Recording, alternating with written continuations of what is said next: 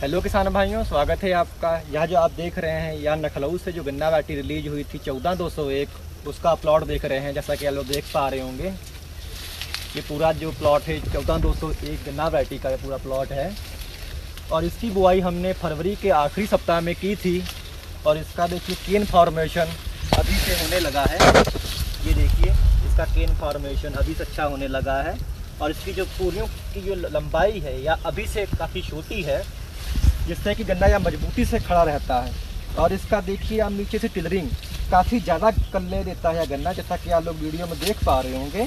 काफ़ी ज़्यादा कल्लों की इसमें संख्या है, जिससे कि कारण या एक तो इसकी उपज में भी काफ़ी ज़्यादा वृद्धि देखने को मिलेगी, क्योंकि कल्ले ज़्यादा हैं और इसकी जो पेड़ी होती है, किसान भाइयों, वो भी बहुत ही शानदार पेड़ी होती है। इसकी पत्तियाँ आप देख पा रहे होंगे, काफ़ी अच्छी खासी लंबाई और चौड़ाई इसकी पत्तियों की है जिससे कि प्रकाश संश्लेषण की क्रिया है वो जो पौधा करता है वह बहुत ही अच्छी मात्रा में कर लेता है जिससे कि इसको भोजन है जो पर, वहाँ पर्याप्त मात्रा में मिलता है जिससे कि इसकी जो लंबाई और मोटाई है वो भी बहुत ही शानदार बढ़ती है। किसान भाई सबसे अच्छी इस वैरायटी की यह खास बात है यह गिरती नहीं है जिससे कि आपको जो बंधाई का खर्चा है वह का बहुत ही कम होने वाला है क्योंकि आप इसमें बंधाई नहीं करेंगे तब भी यहाँ तेज हवाओं को झेलने में सक्षम है और इस, यह एक गन्ने की अर्ली वैरायटी है, बहुत शीघ्र पकने वाली गन्ने की वैरायटी है। और इसके साथ साथ इसको जो हमारा जो भारतीय गन्ना अनुसंधान संस्थान लखनऊ के द्वारा रिलीज़ किया गया था पिछले साल, और देख रहे होंगे आप, का, ये हमारा डेढ़ एकड़ का प्लॉट है। इसमें सभी में चौदह दो सौ एक जो गन्ना वैरायटी है, वह लगी हुई है। और आगे आपको दिखाते हैं, और भी देखिए आपको आके आगे।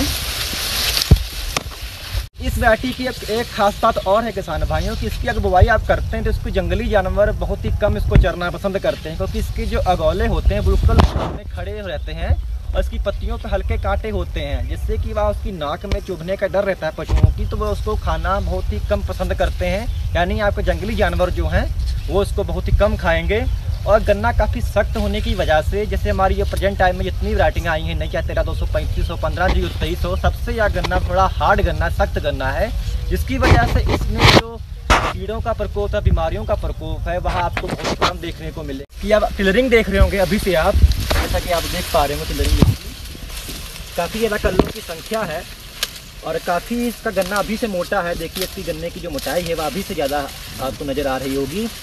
और इसकी जो बुआई हमने की थी, बुआई हमने फरवरी का जो आखिरी सप्ताह है, उसमें की थी और जो लाइन से लाइन की दूरी है इसमें, वह हमने तीन फुट रखी थी और जो बड़ से बड़ की दूरी, यानी एक गांठ से दूसरे गांठ की दूरी थी, वह हमने डेढ़ फीट रखी थी और इसका जर्मिनेशन भी ऑलमोस्ट नब्बे परसेंट इसका जो हमें जर्मिनेशन इसका हमें प्राप्त हुआ था खेत में। और आप देख पा रहे होंगे, काफ़ी अच्छी हाइट है इस गन्ने की अभी से।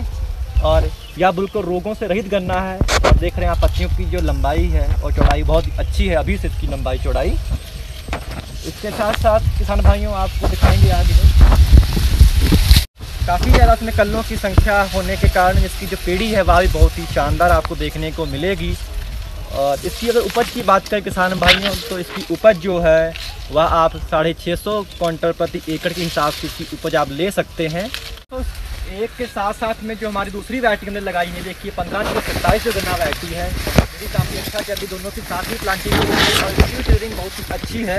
दोनों की टिलरिंग आप कंपेयर करेंगे तो चौदह दो सौ एक की टिलरिंग इससे भी ज़्यादा है, परंतु जो इसकी टिलरिंग है, इसकी भी टिलरिंग आपको अच्छी देखने को मिलेगी। वीडियो अगर आपको अच्छी लगी हो, किसान भाई तो इसको लाइक शेयर और कमेंट इस पर ज़रूर करिएगा। कैसी लगी यह वीडियो, आप उस पर हमें ज़रूर बताइएगा। और हमारे चैनल को सब्सक्राइब करेंगे तो आपको नई नई गन्ने की जानकारियाँ आपको हमेशा मिलती रहेंगी।